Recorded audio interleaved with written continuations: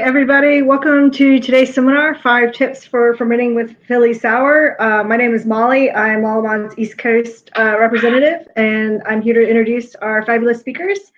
Uh, first up, we have Dr. Matthew Farber, who is a professor of biology and director of brewing science at U Sciences in Philly, uh, also my future karaoke partner um, and as well as Kurt Grunwald from the quality manager from Tired Hands Brewing. So I'm going to let them take it away, and I'm going to join back in for question and answers. Uh, if you do have questions, please chat, please put them in the ask the question box uh, below. So Matt, I'm going to hand it over to you. Thank you, Molly. Let me try to share my screen here. Folks, uh, thank you so much for having me. Thank you for joining me uh, this morning uh, in, in, Philadelphia uh, or wherever you might be from. Uh, it's my pleasure to, to give you a, a, bit of an update on Philly Sour. Um, title my presentation is entitled From the Field, Top 5 Tips for Fermenting with Philly Sour. In other words, from the field, top 5 tips for fermenting with Philly Sour. Got to play with that pH a little bit, you know what I mean? So I always need to start with some acknowledgments. I first want to thank Stephen Mita, uh, who was the undergraduate student who discovered Philly Sour in my lab. Uh, Marissa Egan is our brewing manager who has done a lot of great work with pilot fermentations in our lab. And Gabby DiMichele is a graduate student in my lab who's done a lot of great work characterizing fermentation properties of Philly Sour. And this has been an amazing collaborative project uh, with the Lallemand team uh, to get Philly Sour into your hands uh, wherever you are Tobias uh, in R&D, Molly has really taken the lead uh, on uh, helping us collaborate with commercial brewers across the world. Uh, Sylvie uh, got us here in the first place, along with the help of Didier and Avi. Avi has been helping us with continual R&D work as we continue to, to learn a lot of great things to share with you about Philly Sour and how you can improve sour beer production in, in your brewery. Also, have to thank our commercial uh, partners, uh, in particular today, Tired Hands. Uh, I'll introduce Kurt uh, a little bit later, um, but the Tired Hands team has been a lot of fun to work with. So I first just want to introduce a quick background uh, about what is Philly Sour. Philly Sour is a pure culture of a lactic acid producing yeast closely related to Lachancea thermotolerans. This is a yeast that both makes lactic acid and ethanol during primary fermentation. This means that it greatly simplifies sour beer production for you you would make a wort just like you would make any wort, and then you would ferment a beer just like you would ferment a beer with an ale strain, uh, simply adding Philly sour. This is a yeast strain that is going to make a significant amount of lactic acid during fermentation and also alcohol. So it not only makes a beer, but it makes a sour beer. The yeast does it all, makes lactic acid and ethanol. Because this is, a yeast, it enables a diversity of sour styles. It's tolerant to hops. Uh, it works with fruit. Um, I'll talk a little bit about lactose. Uh, you can use secondary strains for fermentation, and I'll mention that a little bit today as well. So it really enables brewers to think creatively about sour styles uh, and what can be done. As I mentioned, this is a naturally occurring uh, unique Lachancea species isolated uh, in Philadelphia uh, out of actually a, a, graveyard, which is a beautiful park, not a graveyard, but a beautiful park that happens to be a graveyard right next to our campus at the University of Sciences in Philadelphia. And most importantly, Philly Sour makes a really good beer. Um, it's very flavorful. Uh, it's a, the lactic acid gives a really nice, clean citric acidity with notes of stone fruit, red apple, and, and peach. And if you're curious to learn a little bit more about the background of Philly Sour, how we find, found it, some basics uh, for fermentation, I, I, highly recommend that you check out our webinar that we launched Philly Sour uh, on June 11th of last year of 2020. Um, you can find that on Crowdcast at this, this link, or you can just Google Crowdcast Philly Sour launch. So definitely check that out if this is your first time hearing or, or learning about Philly Sour. I do want to repeat one slide from that presentation, uh, and that is just a basic look at fermentation kinetics of Philly Sour. As I mentioned, this is a yeast strain that you're adding to the fermenter. Uh, you're not specially treating your wort in any way uh, than you would um, eh, during any other type of production. And if we look at uh, the drop in pH, what we see is a quick drop in pH in a matter of two to, to five days Um, and we can see the, the pH dropping from uh, about uh, 5.2 of the wort, dropping uh, in this particular case uh, the beer down to a, a, pH of around 3.4. This is a, I should point out, a 40 liter pilot brew uh, in our lab, about 85% Pilsner, 10% flaked wheat, 5% flaked oat, with a single step mash at 65 and a half degrees Celsius. This is a really great basic recipe if you really want to try to get a feel for Philly Sour's flavor and contributions to a beer, I recommend starting with something like this. And this is a really nice base uh, for you to, to, then think creatively about how you might experiment uh, and create a, an innovative style uh, of your own. Regardless, I, I want to point out that this acid production occurs quickly. Um, this is in our lab scale. This was a little slower. We've seen acid production in commercial brewing uh, as fast as two days, um, reaching what I'm calling terminal acidity. Meanwhile, the gravity is falling the whole time, but uh, in my opinion, there is a biphasic fermentation where this fermentation early is lactic acid fermentation, fermentation later is alcoholic fermentation. We don't yet understand the biochemistry of this switch.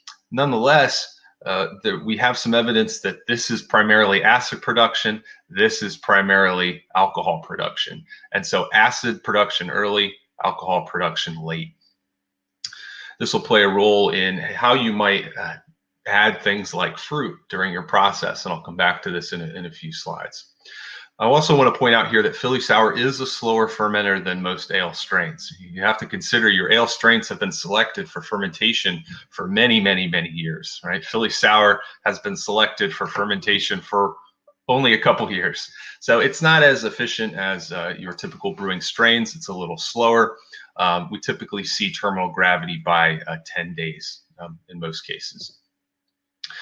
So I wanted to come at you today with some tips for fermenting, uh, and uh, or rather tips for using Philly Sour in the brewery. And again, these are tips that we've learned from our collaborators, uh, from our uh, commercial partners who have worked with us, um, have worked with Molly to send us data about their fermentations.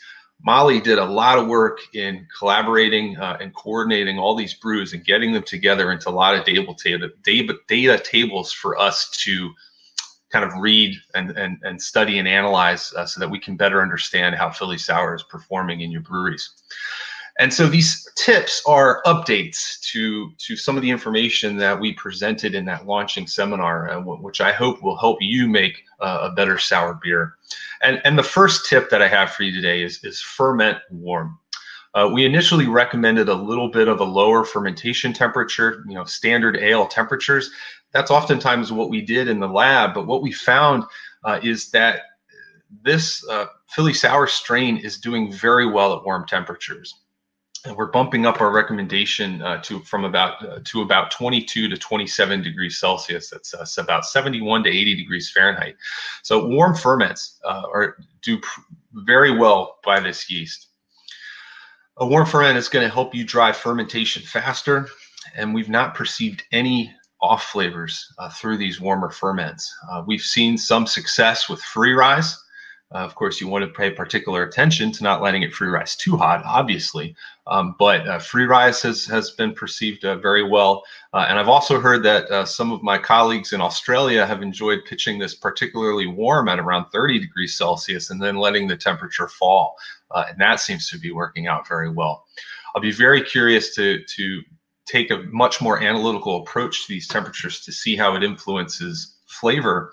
But again, not perceived any of the noticeable off flavors uh, in ale strains uh, at these warm temperatures.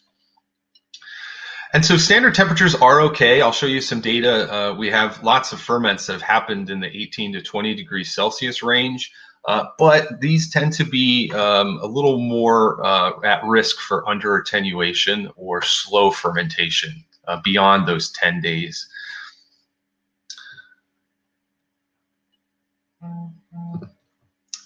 And so uh, I'll pepper some of my tips with some of the data so you can share it. And it's of course difficult to present and, and talk about tables. So I'll only try to draw your attention to the most important things on these tables. And if you really care to stare at these a little bit longer, I highly recommend that you check out the recording. You can pause it and stare at it. And you can certainly reach out to me with any questions you have. Uh, what I wanted to point out uh, in this particular table is again the, the temperature range. Um, and so this was a, a, selection of some of the brews that that started to raise our temperatures uh, up to uh, you know 20 to 24 degrees Celsius. And what we found were really great fermentation times of uh, you know 10 to 12 days. Um, deep, good attenuation rates. Philly sour attenuates in the 65 to uh, to 80 uh, percent range, um, and great acid production. Uh, I'll point out now, and I'll probably point out again uh, we have never seen Philly sour fail to sour on the first pitch.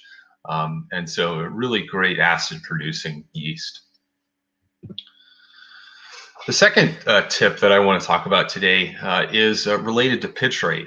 This is uh, another slide from my launch presentation, but I, we're starting to understand uh, even more about pitch rate.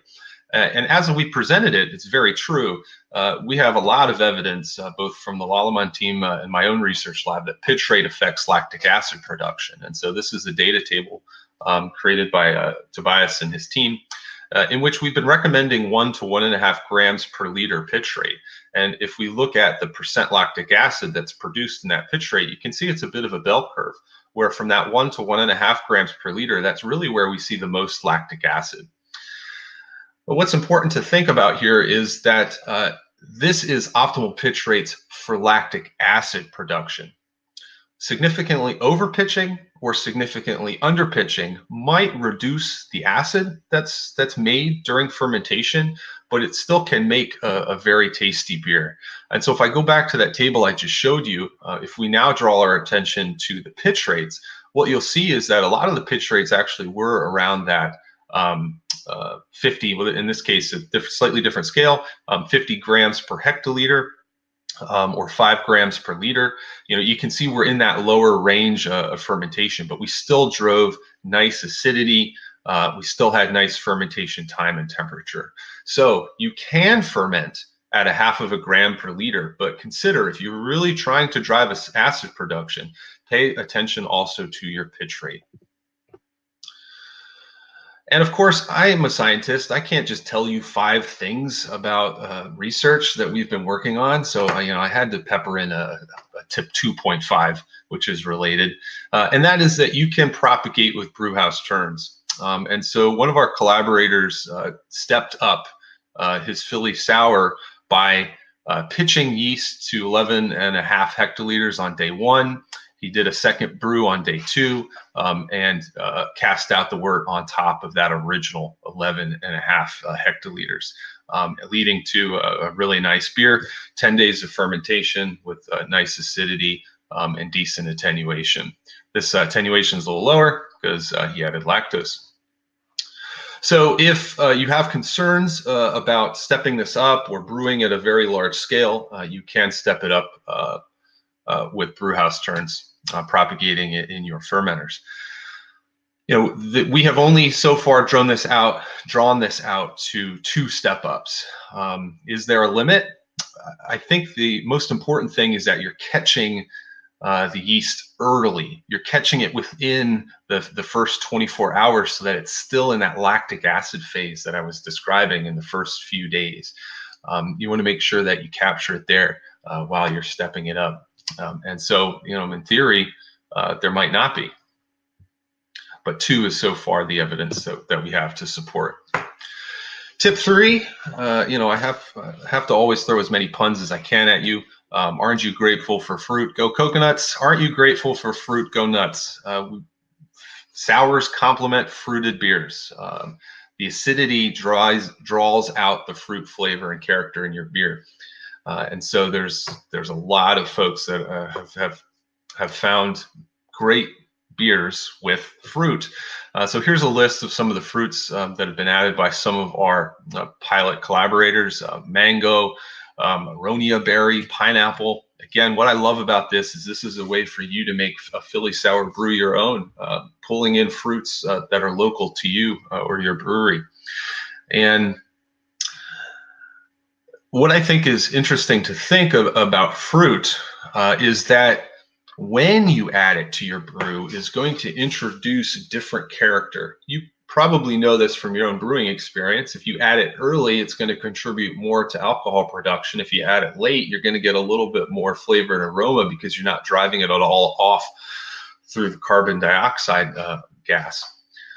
The same is going to be true here, but what I like to think again is that point of the lactic to ethanol switch, where the first couple days, fruit additions will contribute to acidity, later additions will contribute to alcohol. You, of course, should be thinking about the impact on flavor and aroma throughout the process and where it might be beneficial to add.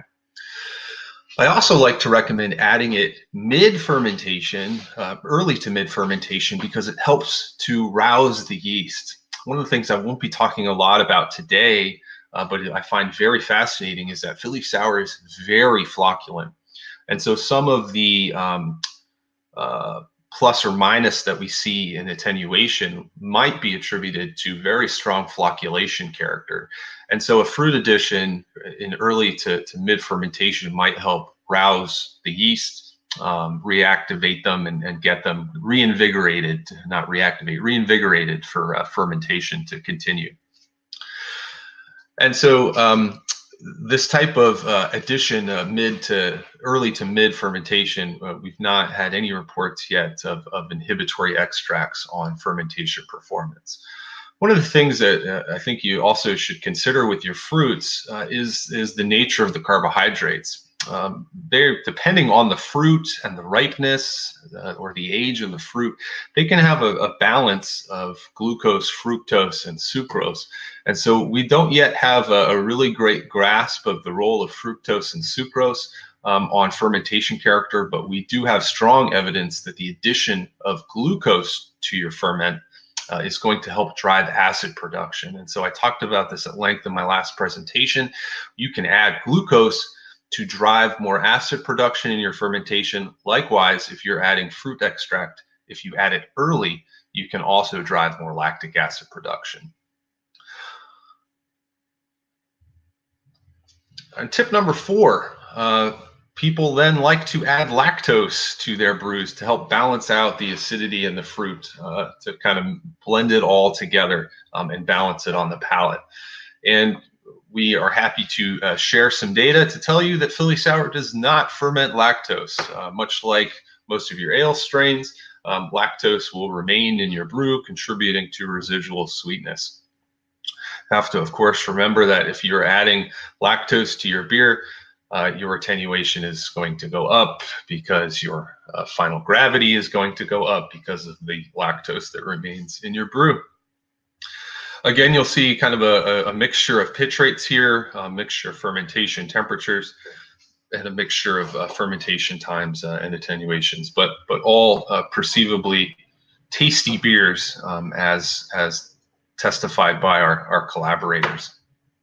And this is some recent data from my student, uh, Gabby, where uh, she did this in triplicate. Uh, she looked at um, added lactose during fermentation at a laboratory scale. So these are 250 milliliter ferments. This is just a control. You can see increasing uh, density um, in degrees Plato as we increase lactose. Uh, this is no lactose, 5% lactose, and 15% lactose. This is the fermentation um, of Philly Sour. This is the fermentation of American Ale. Um, and then this is the pH scale. And so this is the American Ale strain, and then this is the Philly Sour strain. And what you can see are some slight differences in fermentation. Um, but if we look at the slopes of these lines, uh, they're not perceivably different. We don't seem to see that much of an effect on rates of fermentation. Um, and certainly we don't seem to see much of an effect on acid production. We also looked at titratable acidity and, and didn't see a significant difference. So lactose does not appear to affect the fermentation uh, kinetics of, of Philly sour. And tip five uh, is that we definitely recommend playing around with Philly Sour to to create innovative styles uh, in your brewery. And, and one way that you can do that is by adding a second yeast. And so we recommend adding a second yeast strain after primary souring.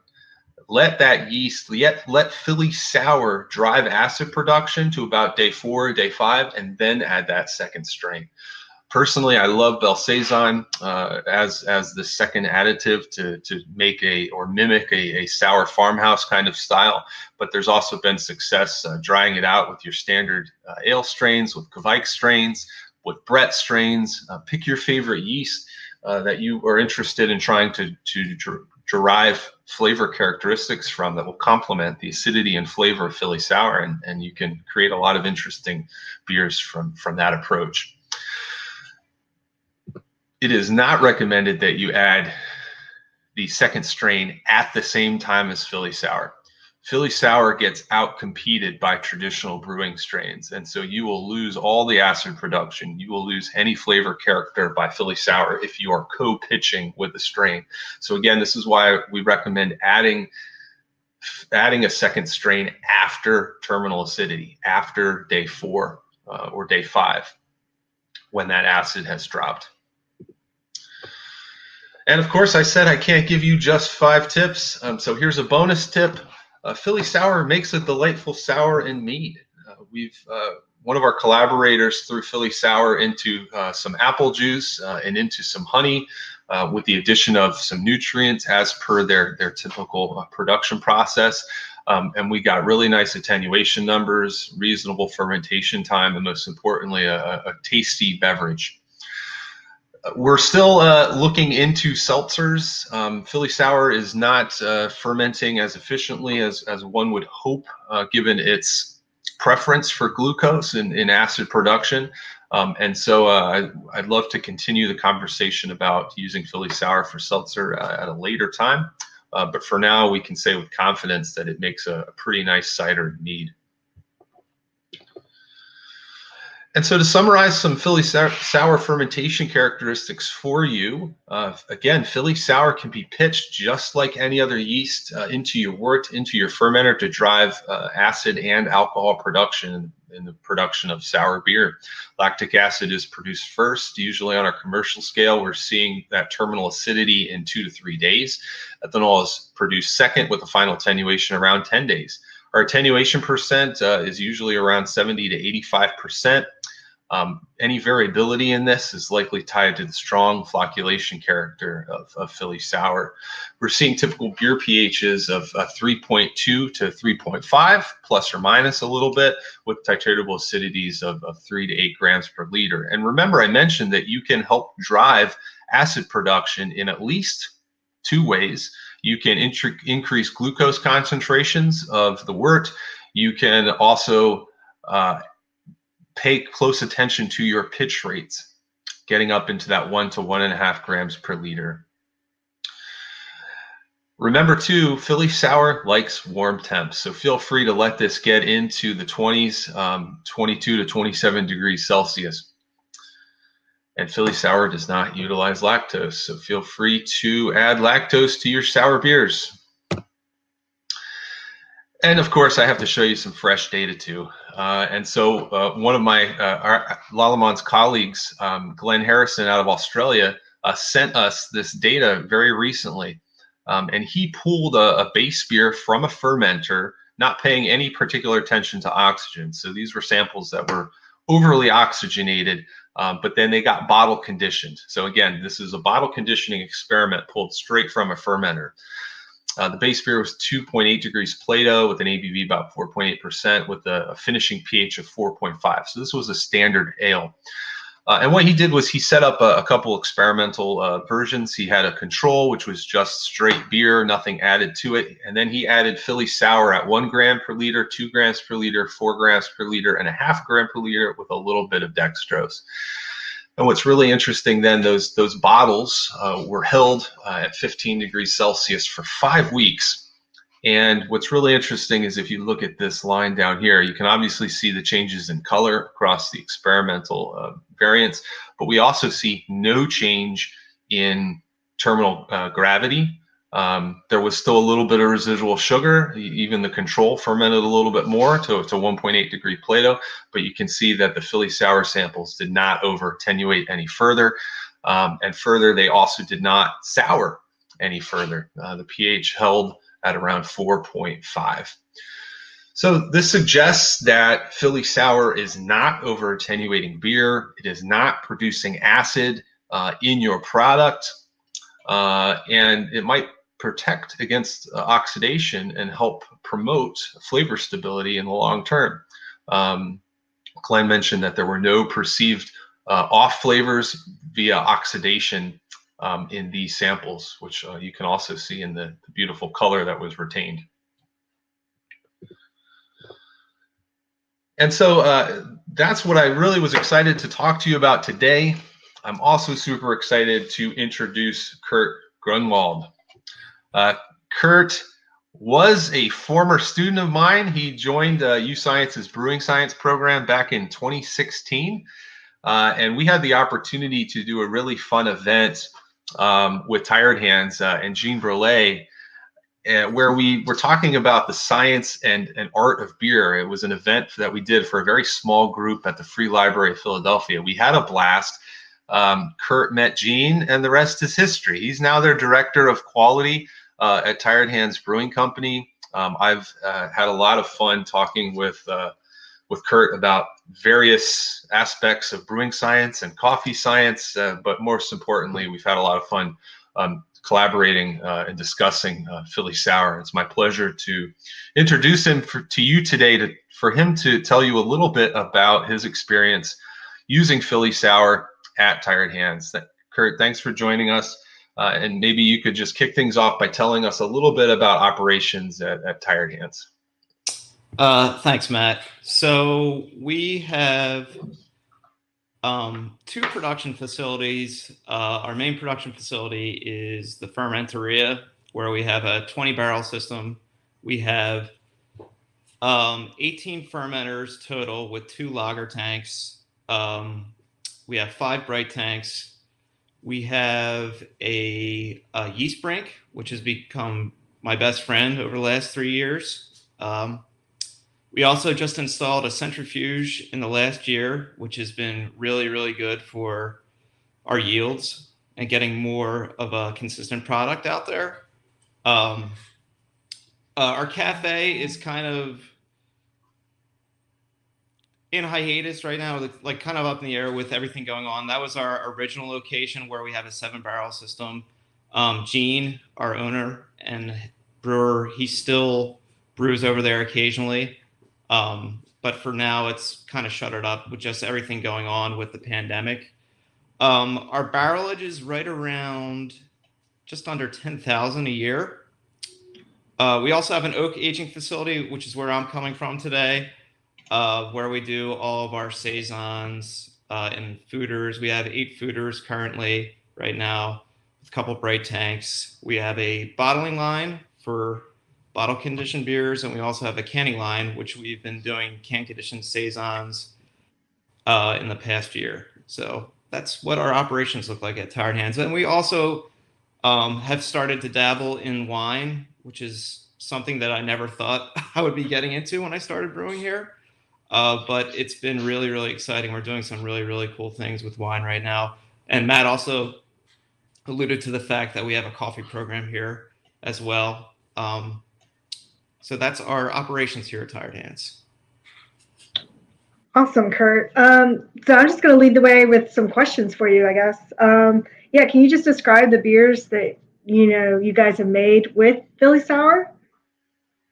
Yeah, I'd love to. So the the first beer that we made was a standard. We call it our Cafe IPA. Um, very similar recipe to what Matt described. Um, we did it on the seven barrel system. Um, everything turned out great with that beer. And then we, the last three brews that we've done, one was on the seven barrel system as well. It was a heavily fruited sour. Um, and then the other two were on our 20 barrel production scale facility system at the firm. Um, they were also heavily fruited sours as well. Um, the nice thing about these beers is that, like Matt has described in his notes, uh, they've all dropped to terminal, quote unquote, terminal pH um, within two days. And uh, actually, the last two have dropped under 3.5 in the first day after brewing. Kurt, I think I have that the data there you sent go. me here. Yep. So these are the last two that we did at the firm, Ghost One and Ghost Two. Um, the one that really, really excites me is that finished pH of Ghost Two at 3.06. Um, and like this data goes along with what everything Matt said before. The fruit additions were done mid fermentation. Um, the attenuation was a little bit lower on Ghost 2, as you can see, but I think that was a more exemplary uh, example of what we see with this yeast strain with that low, low pH. And the nice part about it too is 15 days and 14 days from brew date to package for us. So we're not taking up a lot of time in our tanks.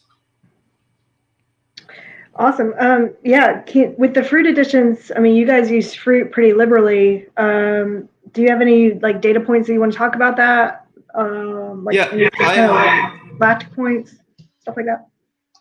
Yeah, so the I, th- I think I pretty much already stepped over that question with that my previous statement, just saying that uh, the pH drop has been so precipitous with this yeast. Uh, like we, like I said, the first beer was probably the slowest one as far as pH drop. We didn't get to terminal pH until day three or four, but the other three have been right at day two, where we've seen the sub 3.5 pH with these beers.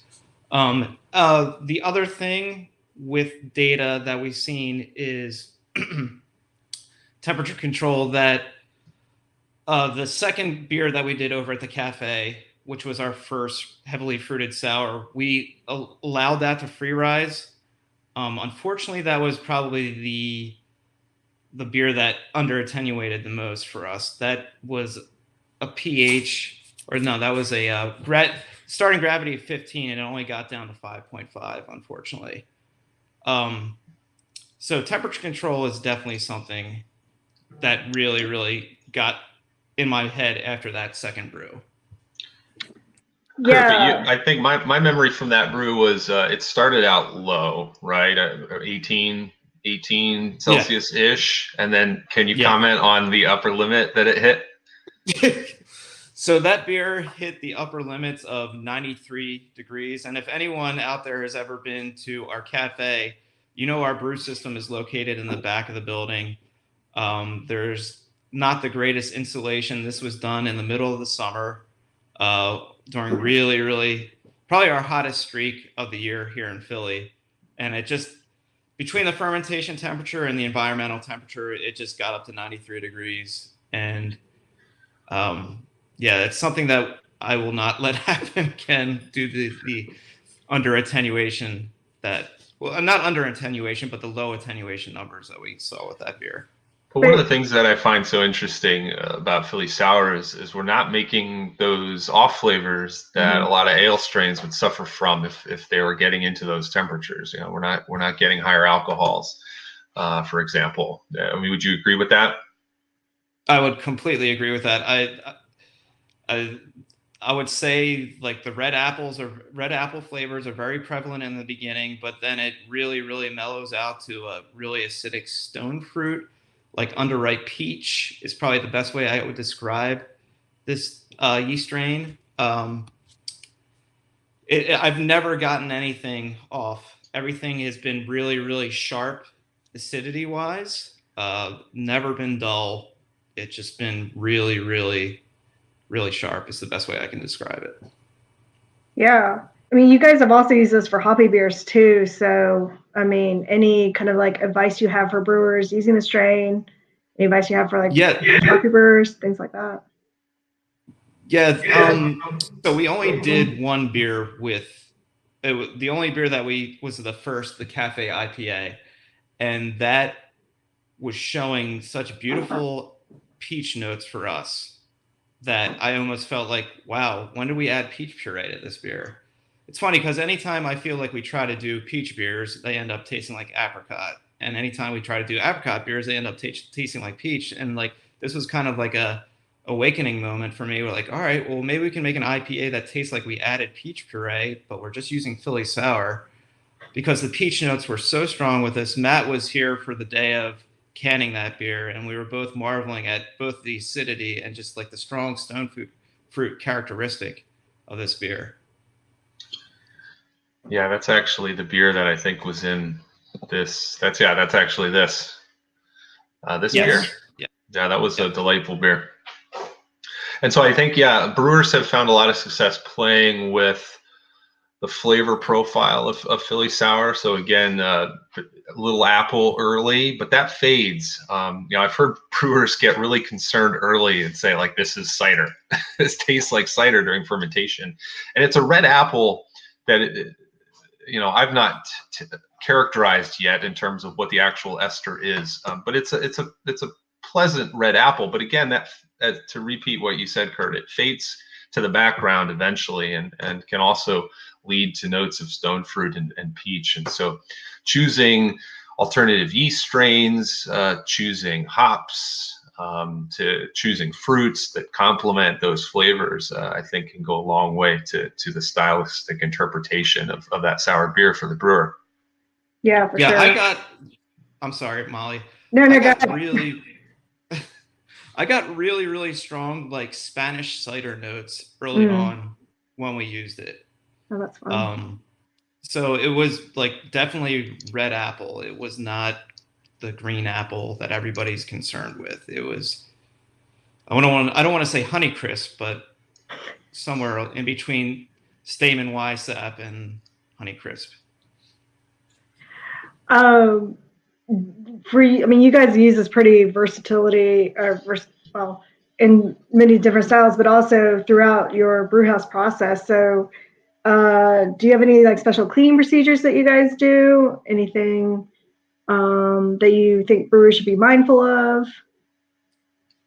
Um, we've just done the standard CIP procedures with this beer, and we haven't seen any problems from a micro standpoint or anything else. Uh, one of the nice things about this beer is the shelf stability. So when we first canned this beer, and especially when we can the heavily fruited sours, I made sure I put a couple cans in my incubator just to do a test for my own volition. Even though every beer that we make, we keep refrigerated um, because we sell out of house and we have a couple of accounts now that we sell cans due to the times. But I just like to do it on my own just to see what our shelf stability would be. And with the heavily fruited beers, I was especially concerned, even though we added the fruit like early on in fermentation or mid fermentation. Um, I can say that there was no excessive souring, as Matt's notes pre- previously stated with the bottle conditioning. Uh, there was no over attenuation. Uh, there was no gushing when I opened the can, and most importantly, there was no exploding in the can, which to me is as a quality manager, that is like the one thing that I'm like yeah. most relieved about when I see a beer that I'm somewhat worried about due to that last ghost that we did, ghost number two. Uh, we added almost 100 gallons of different berry berry purees. That was about blackberry, raspberry, and blueberry. So that was a little bit in the back of my mind, and I was happy to say that none of that pun pun intended blew up in my face. yes. uh, awesome. Um, I think we have some questions um, that we should get to in the comment section. Um, one that has uh, gotten a lot of votes was Does the yeast also sour the wort under pressure? Um, I personally do not recommend uh, fermenting under pressure. I think that's a little bit dangerous. But um, Matt and Kurt, if you guys have any any thoughts about this question, I have not. I know we haven't fermented under pressure with this yeast strain. We, nor have we. Um, I've I've heard some anecdotal uh, stories of it being a little more sensitive to pressure than your standard ale strains. So I wouldn't be surprised if its performance isn't as great. Um, but I don't have any data to point to for that. Yeah. Uh, second question: Is rehydration of the yeast pre-pitching necessary? Should you use nutrients with high adjunct, high adjunct wort or ciders? Um, I don't think rehydration is strictly necessary, but it also kind of depends on your uh, on the beer that you're making. If you're, you know, pitching into a highly sensitive environment, whether high OG or uh, whatever, then it might be something to consider. Uh, nutrients we're still exploring, uh, but the nutrient data seems promising. I would say, particularly for ciders and mead. Um, yeah, is there anything that you guys want to comment? I know we did not we did not uh, rehydrate the yeast before we pitched it. We just did straight brick into the vessel, and we Yeah. did not see any issues with fermentation. Obviously, I'm the academic, so I'm going to tell you to rehydrate your yeast because it's best. But you know, we- we I've done some commercial collaborations with Philly Sour, and we've pitched it direct, and it's it's always worked. Yeah. So this person has a question. They've experienced lower ABVs when using this yeast, which makes sense if all the glucose is converted to lactic. Currently, we expect 15% of our OG to be converted to lactic due to sugar composition of the wort. Does this match what you have found? Um, so I think a lot of this is really going to depend on your mash temperature and your wort sugar spectrum makeup.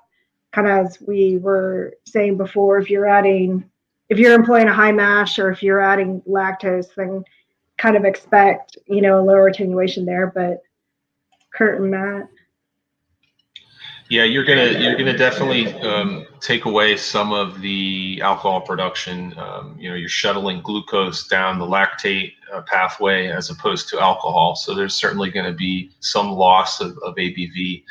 Um, and so it's worth, uh, if- you know, if you need to pay particular attention to very accurate ABVs for, for labeling purposes, uh, I would certainly recommend careful, more, more careful attention to how you're calculating your ABVs. And it's going to be dependent upon how much lactic acid you make. yeah. Uh, what about dry hopping and biotransformation on Philly sour fermentation? Ooh, it's a, it's a good research question that we don't have answers to. Yeah. it's definitely something that I want to play with more in our brewery. Um, like I said, we only did one IPA with this yeast strain. I would love to do more and work with uh, hops that I'm more familiar with. The brew that we did over the cafe, we are using experimental hops from Australia, so I wasn't really too familiar with their characteristics. I'd love to see what what this yeast would do with like the standard citrus, mosaics, centennials, Columbus. See what kind of biotransformation we can get with that and dry hopping. You also Yeah. have to consider that this is a sour beer, and so with the pH going down, the solubility of some of our chemicals uh, might be altering as well. So I wouldn't call it biotransformation per se, uh, but the chemical nature of the beer is going to change just because it is sour. Yeah. Um, a repitching question. Has anyone had success repitching this yeast? If so, did the following fermentations hit target terminal gravity and final pH levels? Um, from we really we generally don't recommend repitching this yeast just because it is a lactic acid producing yeast and like best practices, you know, even if you're kettle souring and you're using a bacteria for your kettle sour, uh, anything like that, you're just going to find inconsistencies upon repitch.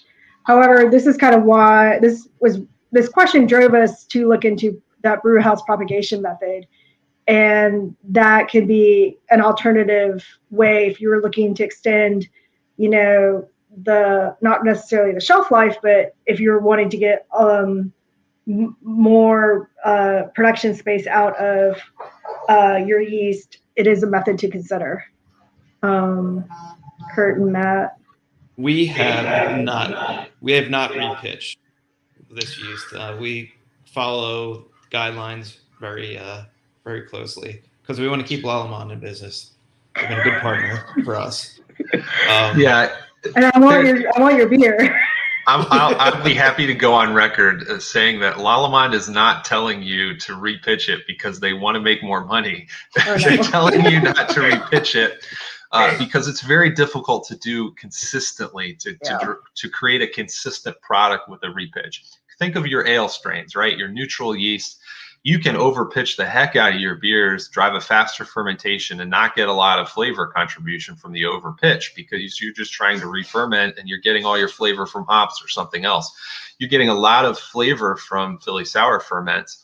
Um, you're especially getting lactic acid fermentation. And if you recall my data where I showed you that bell curve with the acid production at the top, the problem that brewers uh, have with trying to repitch Philly sour is it's very flocculent. It's smaller than Saccharomyces cerevisiae. And so it's you have to be very accurate and precise in your repitch rates um, when you're when you're going into a subsequent brew.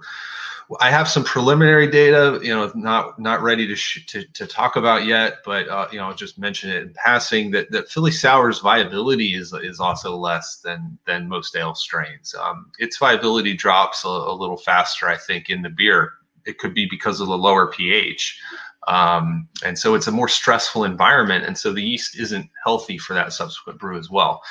So that's why we don't recommend repitching it. We have repitched it in our lab with success, um, both in our pilot 40 liter scale, you know, and certainly at, at lab scale. Um, as, Molly mentioned, the recommendation of doing the propagations in the tank, at least up front, will help you scale it for, for your first fermentation.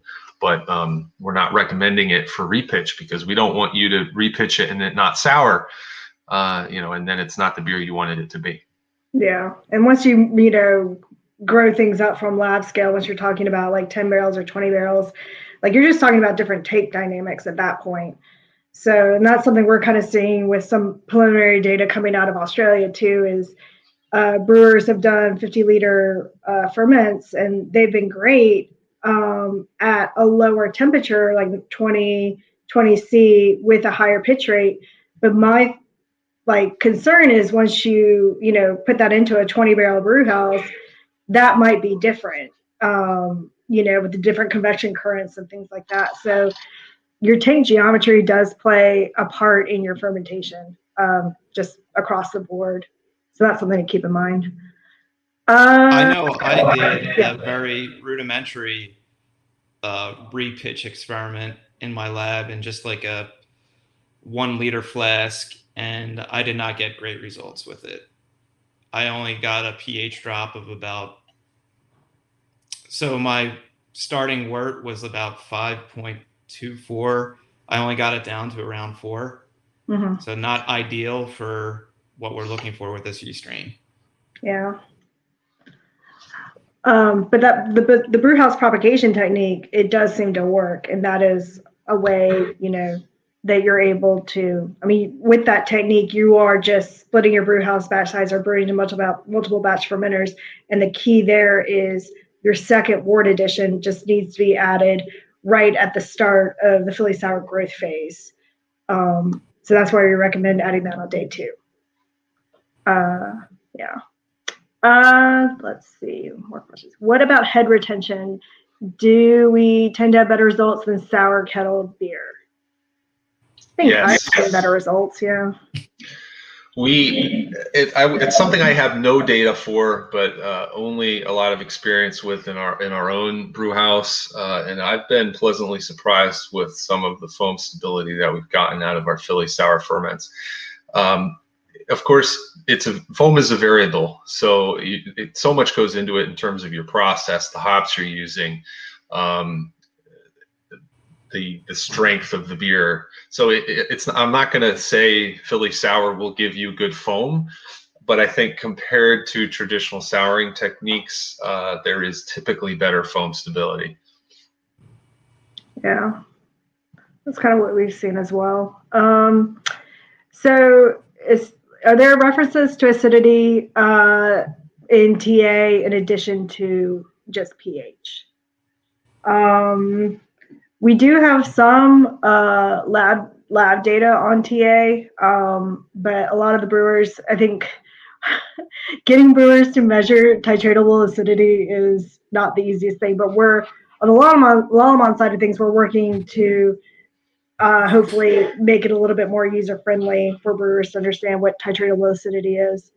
But and that's what, what, I what I hope you've been able to communicate to you guys today is is that you you have the tools to alter the acidity, and so you know one beer that is a pH of 3.5 could swing in a couple different directions, right? In terms of the the titratable acidity that's in there, and it would still read a, a 3.5.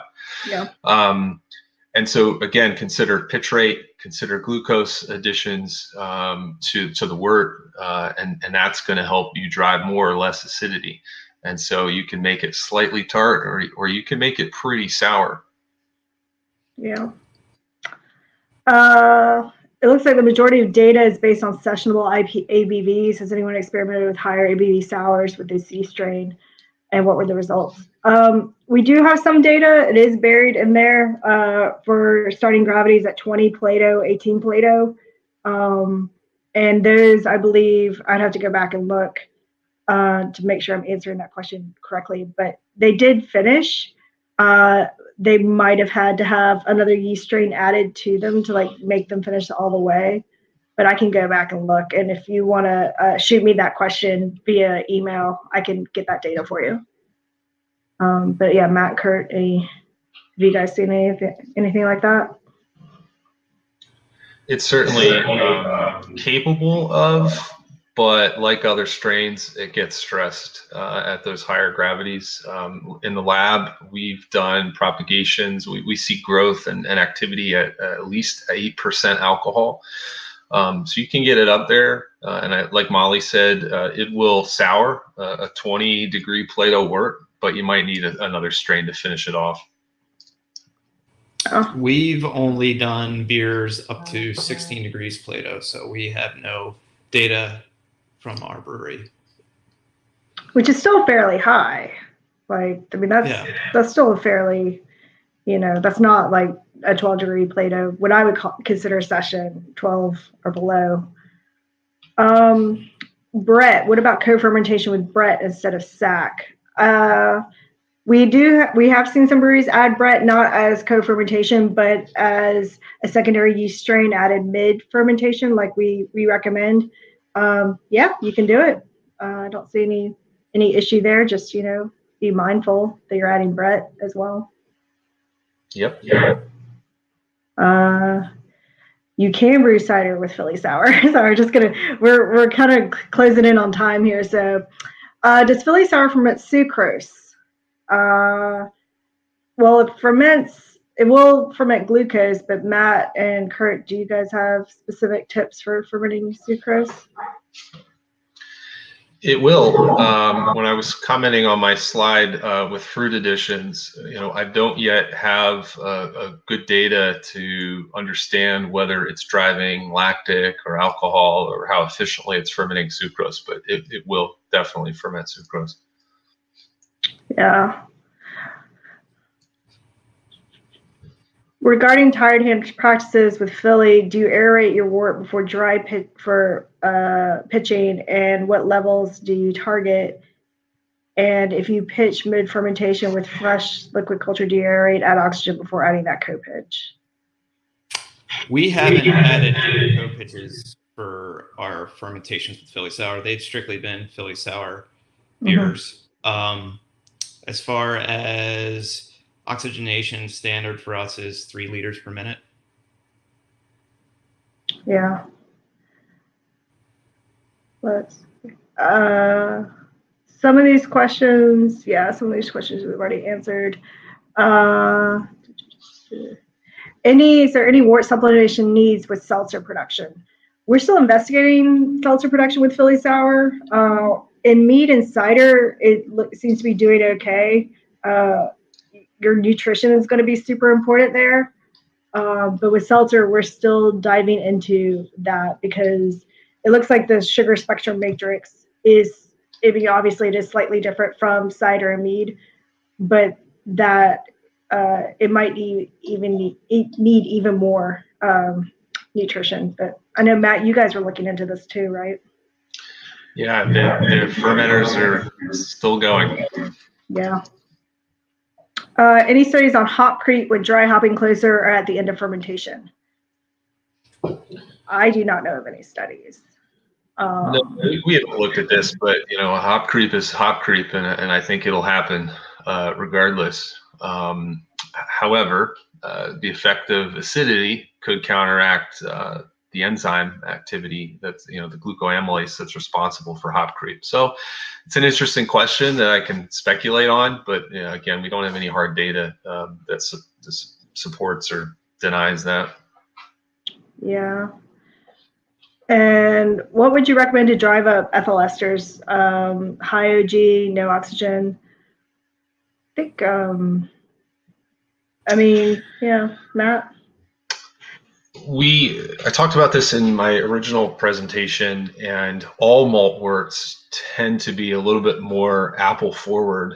Um, it's the addition of glucose that tends to lead to a little bit more of the peach. Um, and i think kurt was describing a little bit more uh, apple too with some of his warmer ferments so i'd be interested. We haven't played around enough with temperature and sensory uh, but maybe kurt you could talk uh, about your opinions on apple notes Yeah, I I definitely think the apple notes were more prevalent when the fermentation temperature was warmer, um, and as the fermentation obviously was slowing down, the temperature is going to drop in the tank. The one that we allowed to free rise, that is, um, and we were getting a lot more of the stone fruit towards the end of that. So that's just one brew. Everything else has been controlled, but that's what we got data wise, or from a sensory perspective, anyway. Yeah. Uh, how heavy can you hop uh, with in your whirlpool with Philly? I want to say pretty heavily. Um, as far as I know.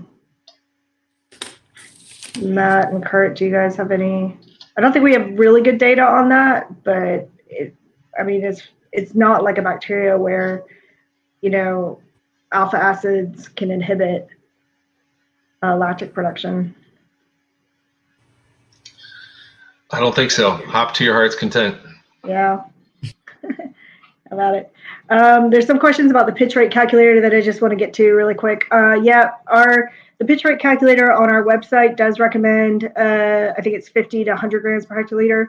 Um, this is based on our earlier lab data that we did, and it is something that you can still um, reckon. We still, you can still, you know, pitch towards the 50 grams per hectoliter, depending on your OG. I would just be mindful of your fermentation temp. Um, really bump up your fermentation temp. Like we said before, this is something that is probably more important than your pitch rate at this point. Um, but your whole the whole point is you want the yeast to remain in active fermentation. Uh, so you know, consider your mashed temperature, consider your original gravity, and then kind of design you know your brew around that but also be mindful that at um like between 22 and 30 c so like fermenting in mid 70s is kind of going to be really key. Um matt and kurt do you have any comments on that? Yeah, I agree. okay. Agree. Uh, we're kind of getting close to time. Uh, for the questions we didn't answer, feel free to like email. Um, I'll put my email down in here in the chat. So, and then I can send these out to whoever, uh, whoever they're specifically for. Um, but yeah, is there any final thoughts, closing statements that we want to share? Um, Kurt, uh, I do think I asked you to do some homework, and uh, we are we are recent fathers, although not so recent anymore. But uh, time flies, and so I asked Kurt if he could close us out with a with a dad joke. Yeah, there's one thing that I've learned with having a child is that there's a lot of Velcro in my life. And I'll give everybody this tip do not buy anything with Velcro, it is a complete ripoff. Thank you, everybody. That's it. Kurt out. Thank you, guys.